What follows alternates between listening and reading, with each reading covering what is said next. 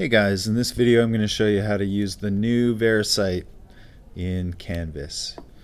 So, to create the VeriCite assignment, you are going to go into your Canvas course and click on Assignments plus Assignment.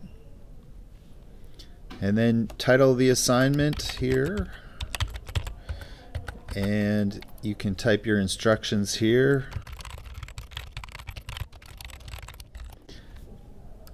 fill in your points.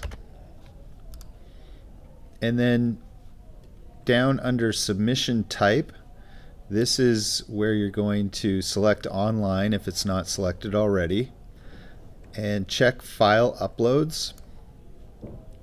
And then right here plagiarism review you're going to change it if it says none to VeriCite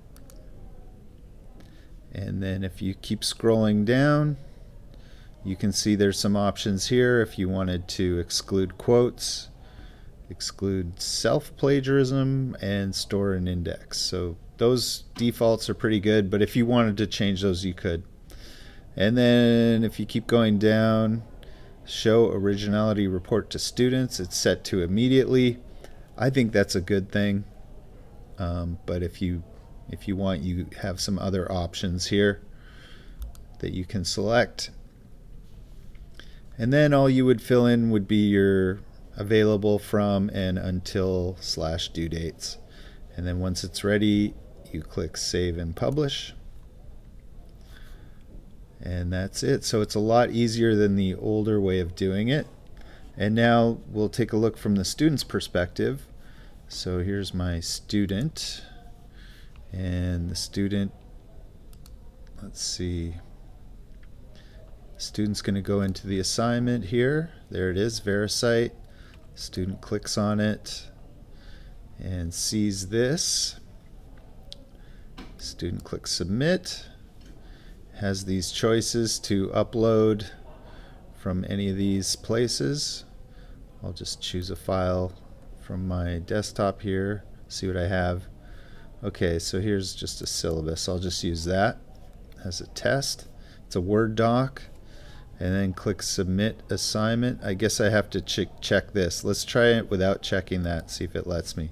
No, I have to agree to the submission pledge before I can submit. So it's going to make me check this off and that's another thing saying yes, this is my work.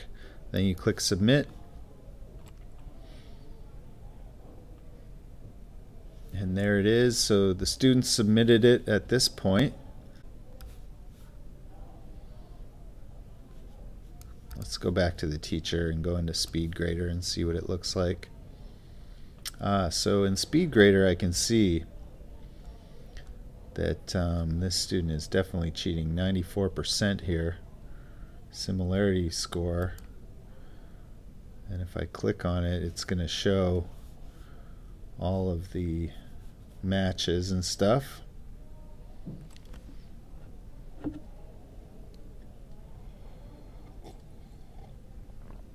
Take a sip of tea while we wait for these to show up and look at that. So this is showing me exactly